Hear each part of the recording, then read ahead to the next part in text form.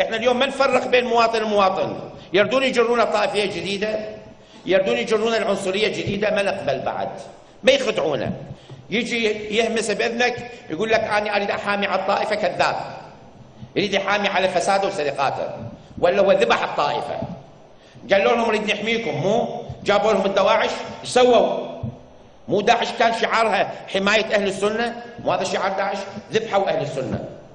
خلوهم أهل السنة أبناء العراق الشرفاء خلوهم نازحين في بلادهم ملايين منهم قتلوهم ودمروا منشاتهم هذه هؤلاء الأبطال العراقيين انطلقوا من كل المحافظات.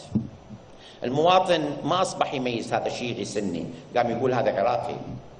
بالبداية كان البعض يشيعون هذا جيش مدري شنو قاموا يسموه تسميات. هسه يسموه جيش وطني عراقي. ما نقبل بتسمية ثانية.